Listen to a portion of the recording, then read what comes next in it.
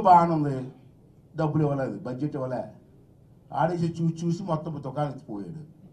మూడు సంవత్సరాలు సుజీల్ సర్వత ఏమైంది? మీ నాన్నగారు ప్రేమైన ప్రాజెక్ట్ అంటావు కదా నువ్వు. ఎందుకు స్టార్ట్ చేయలేదే? దాని గురించి బొత్స సత్యబాబు ఎందుకు అడగడా దాని గురించి మన జిల్లా మంత్రులు ఎందుకు అడగరా ముఖ్యమంత్రిని? పోలవరం ప్రాజెక్ట్. పోలవరం ప్రాజెక్ట్ పూర్తయితే ఈ మూడు జిల్లాలు సస్యశ్యామలు అవుతాయా? అది అందరికీ తెలుసు. ఇప్పుడు అంజీ గారి టైంలో శంకుస్థాపన చేశారు. అయినా వదలలేదు. ఎందుకు వదలలేదు మనం ముఖ్యమంత్రులు మారుతూ ఉంటారు. ప్రాజెక్టులు మారు ఆ ప్రాజెక్ట్ కంప్ ఏ ముఖ్యమంత్రి వచ్చినా ప్రాజెక్ట్ కంప్లీట్ చేయాలని బుర్ర ఉండాలి? జ్ఞానం ఉండాలి? ఏ ముఖ్యమంత్రికైనా అంజయ్ గారి శంకుస్థాపన చేస్తే మిగతా ముఖ్యమంత్రి నడిపించగలలేదా చంద్రబాబు వచ్చిన తర్వాత ఆమె ప్రత్యేకమైన దృష్టి పెట్టి ప్రతి సోమవారం పోలవారం కోసం కేటాయించేసి ఎనభై రెండు శాతం వరకు తీసుకెళ్తే నువ్వు వచ్చి ఏం చేసావా ఈ ఈ మూడు సంవత్సరాల్లో ఏం చేసావు? పనికిరాని మంత్రి ఇరిగేషన్ మంత్రి. గంట మంత్రి అరగంట మంత్రి. అరగంట మంత్రి మనవాడు గంట మంత్రి కదా అతను. అటువంటి వాడికి ఇస్తావా ఇరిగేషన్ అంటే వాడికి ఏంటి తెలుసా? ఇప్పుడున్న ఇరిగేషన్ మంత్రికి డయాఫార్మ్ వాళ్ళు పడిపోయింది. ఏడ్స్ సార్ అంటే డయాఫార్మ్ వాళ్ళ అదేంటి? అని అడుగుతున్నాడు అతను. రాష్ట్రంలో వాళ్ళని సార్ ఇరిగేషన్ మినిస్టర్ మీకు తెలియదు అంటే డయాఫార్మ్ వాళ్ళ గురించి నేను తెలుసుకోవాలా? నాకే సంబంధం? అరే ఇరిగేషన్ మంత్రి ఇంపార్టెంట్ ప్రాజెక్ట్ గురించి మాట్లాడుతూ ఉంటే నాకు తెలియదని మాట్లాడుతానంటే ఏంటి మీ ప్రభుత్వం చేస్తున్న కార్యక్రమాలు? అర్థం చేసుకోవాల్సిన అవసరం ఉంది కదా? ఇన్ని ప్రాజెక్టుల గురించి మాట్లాడవు.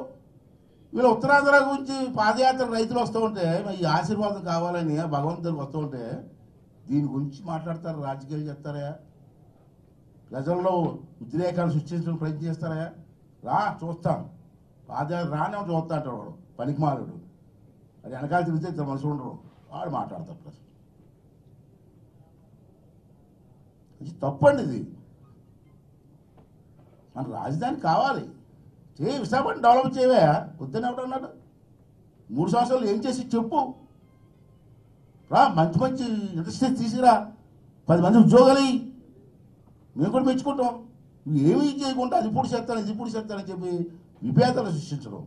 ప్రజల మధ్యనే విభేదాలు సృష్టించి రాజకీయాలు చేయడం నీలాంటి వాళ్ళు చాలామంది మట్టి కలిసిపోయారు ఇవాళ.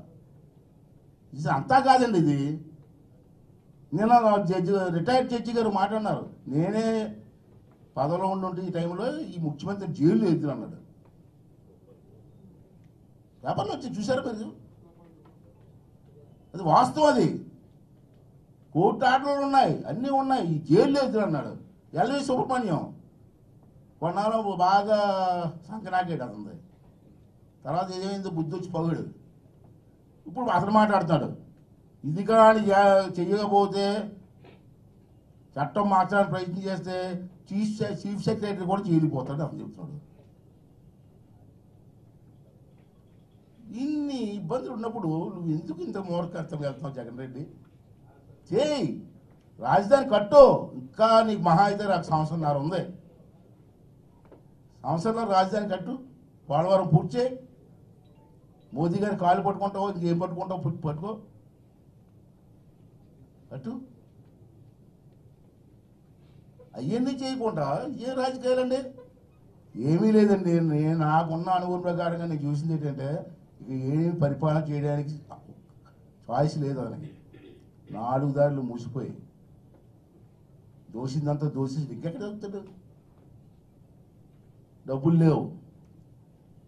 అప్పులు పెంచాడు. అప్పులు కట్టడానికి డబ్బులు లేవు. సెంట్రల్ గవర్నమెంట్ కూడా టైట్ చేసింది.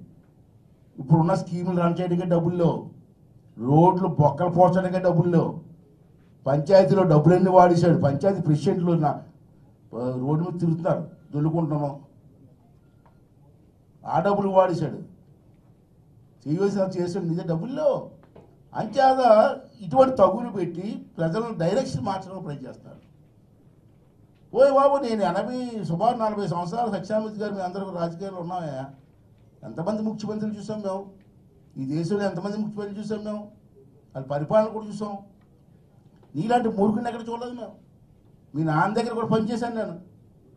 నాన్న సీఎం ఉన్నప్పుడు నేను ఎమ్మెల్యే చేశాను. అతని క్వాలిటీలు ఒకటైనా వచ్చిందా నీకు ఆ మహానుభావుడికి ఎలా కూర్చొని కడతట్లే